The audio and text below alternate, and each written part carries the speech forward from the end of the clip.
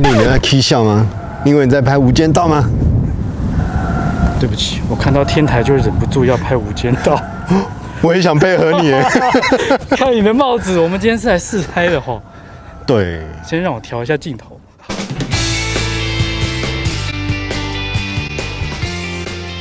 们今天是是 Yokohama 的新轮胎，对，它是一个新型号，它是 Blue Earth ES 三十二。它就是一个很适合中小型房车哦，对，用的一个胎。它这条轮胎就是在它的橡胶的配方有做一些调整，就说用一些纳米的技术，它可以让这个轮胎的接地面积更更大。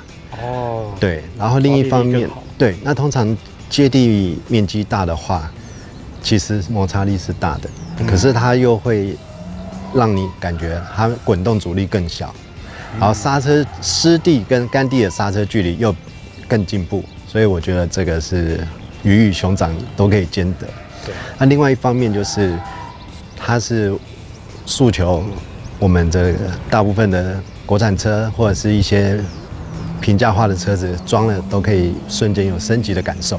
哦，对，所以性能啊、操控还是不错的。对对对，它算是一个平价好胎的新选择。那我们今天有几个关卡，对不对？那我们就来赶快来测试一下这个新胎，跟大好家分享一下。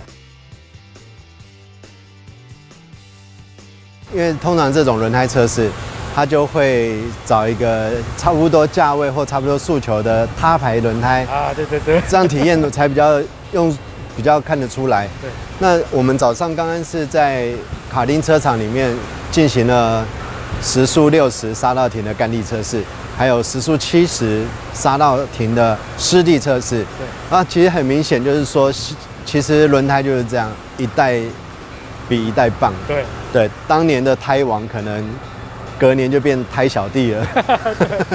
对，所以呃，早上我这样开就是这个 Yokohama 的 ES 三十二轮胎，它在干地的刹车，其实真的是比它的竞争品牌要短，比如说时速六十到零，差不多可以少大概八十公分。哦，对，那八十公分我们换算一下，哎，也许八十公分你觉得不怎么样，可是一个是，哎，你可能在撞上前有停住，啊，一跟一个是嘣，水箱也破了，大灯也破了，你就要找拖车。也有道理。对对对对，所以呃，湿地也差不多是一样状况，那因为湿地速度更快，所以它那个刹车距离更明显，可以差到一公尺多。比较明显的感觉就是，其实还蛮稳定的，对对。因为印象中，特别是在湿地可能会晃动啊对对对但是还好，对。就是很稳定的，慢慢对这样沉下去这对对种停法，对。而且它干地跟湿地感觉是差不多，对。不会说湿地比较滑或怎么样，对对，它也不会说有什么让你不不安的这种拉扯，对都没有。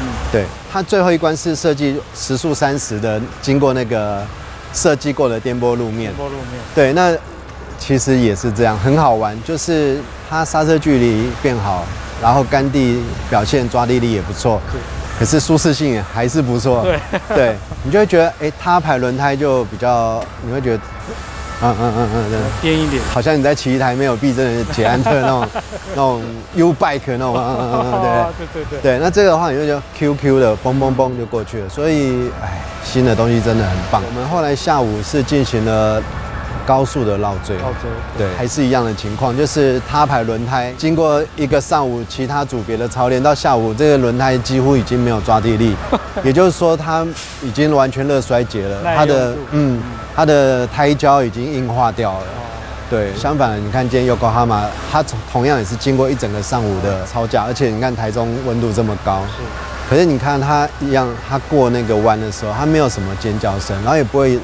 提早出现转向不足。对，所以表示说它的胎胶的粘性是还有一定的水准，而且它耐用，对还没有因因热而硬化。常常会有朋友问说，哎、我要换轮胎，我要怎么换好？我通常都会告诉他们说，如果你不要升级大尺码，你就以同尺码中评价好的胎去换，这样子你整个行车表现就完全不一样。对，因为你你马力再大，你刹车卡钳改的再好，你防倾杆再粗，悬吊再硬，你永远是靠那四条轮胎去接触地面，嗯。所以它真的是建立你行车安全的第一关。对，所以我觉得这种比较耐久，然后耐热，然后抓地力好，刹车距离好，而且价位又还在这种入门进阶胎，有这样的表现，我觉得，呃，轮胎钱绝对不要省，真的可以认真考虑这一条。